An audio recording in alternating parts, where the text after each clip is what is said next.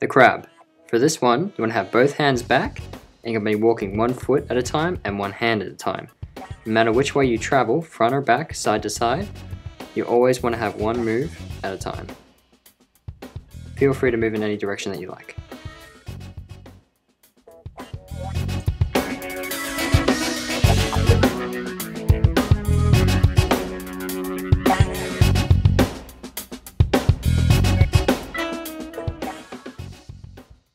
If you're interested in learning more, make sure you check out the other videos at melbournebreakdance.com.